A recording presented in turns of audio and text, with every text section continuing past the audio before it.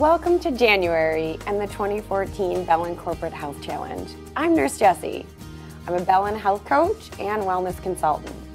Join me as we embark on this journey toward health and vitality. This month, we will explore how we can refuel your body, recharge your mind, and rejuvenate your spirit. I want you to take two minutes, listen to what we have to say in this video, and begin to examine your own health and wellness journey. A patient came to me once for wellness coaching, and she stated that her life up to this point was like a train that was zooming past her. She wasn't in control of that train. She wasn't even aboard the train. In a moment, you will see words scrolling down your screen. These are words that are all basic human needs.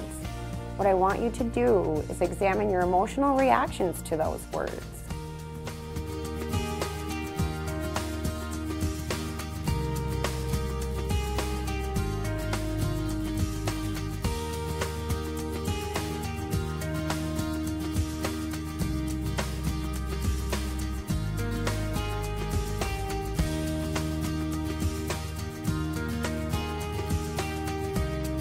So did you notice any unmet needs in your life? Did certain words trigger your curiosity as to are you being creative in your life? Do you have laughter or joy or are you really lacking in that area? Defining that and really spelling that out for yourself is where your true journey begins.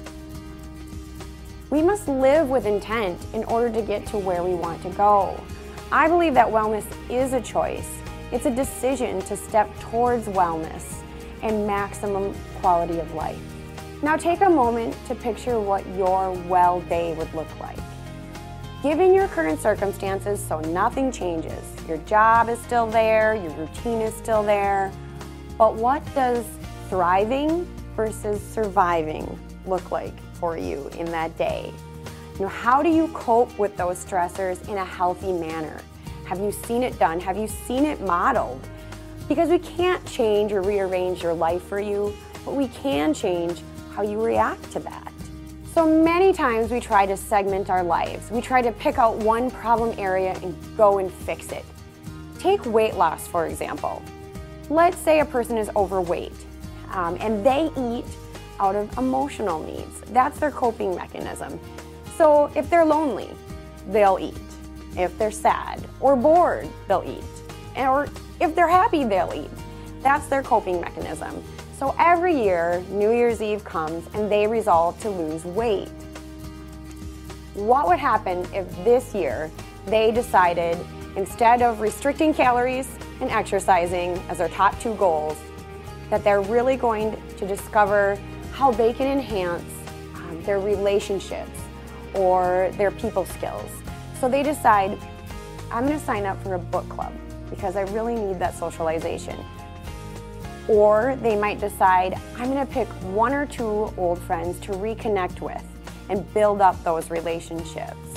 We are complex individuals, unique individuals, and our goals need to reflect that. As Plato said, the part can never be well unless the whole is well. Perhaps you have an irreversible health condition or a lot of weight to lose. You might even find yourself in debt or have many damaged relationships that need mending. It is important, however, that you accept yourself right now. Now that you've identified some areas of interest in your basic human needs that maybe weren't being met and you'd like to see more of in your life, you can create this vision for the next year or the next few years in your life of what you want to see more of. But the important part in getting here is accepting yourself where you are right now and letting go of any guilt associated with your past journey. Let your journey begin today. All right, let's take some time to review some resources that you can use as tools to refuel your body, recharge your mind, and rejuvenate your spirit. Refuel your body. In order to have the energy you need, you need to fuel your body and mind with high quality fuel. So besides packing on extra pounds, processed foods can often dampen our mood, decrease our energy, and make us crave more dead foods. So instead, choose foods that are rich in color, and high in nutrients to fuel your body and mind. Recharge your mind. Once you've found areas that you have an interest in enhancing, take the time to write out tangible goals.